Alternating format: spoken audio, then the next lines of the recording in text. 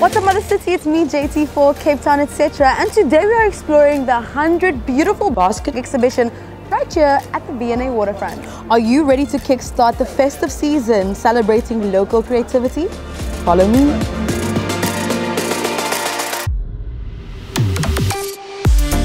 The V&A Waterfront's award-winning festive celebrations come to life with a gorgeous exhibition of African basketry, handmade with love.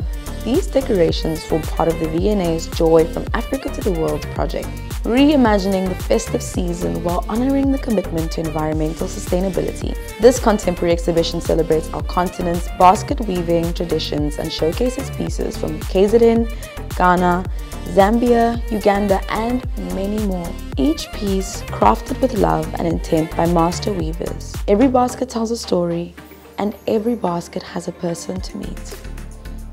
My name is Tinyiko Mageza. I'm the marketing executive for the V&A Waterfront. Welcome to my office. and my office today is the 100 Beautiful Baskets exhibition space. It is in the cinema lobby just above H&M. Baskets have been a, a really important part of the V&A Waterfront's festive season decorations for the last three years. What we want to do is shine a spotlight on local artists, local weavers, local makers, and show the rest of the world and locals as well that just simply supporting local artists and creatives, magic can happen. And the magic that we're showing today is the magic of basket weaving, which is both magical but also very technical. And once you really learn the art of basket weaving, you have a newfound appreciation for something that is synonymous with Africa. All you have to do is come to the waterfront actually. The exhibition is free. You can walk in anytime between 10 and 7 o'clock. That is when the exhibition space will be open. We're also actually selling baskets. So if you want to stock up on some interesting Christmas presents for friends and family and loved ones, this would be honestly the gift that I would absolutely salivate over because it's just so different. It is so meaningful. Every basket that you see here has uh, been made by hand um, by an individual, master weavers across the continent. So behind every basket, there's like a story of an artist, usually a woman in rural area who is using this as a way of supporting her family and her community.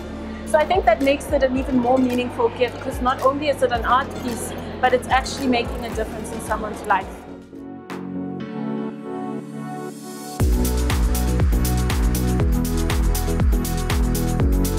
This is actually a three-year journey for us.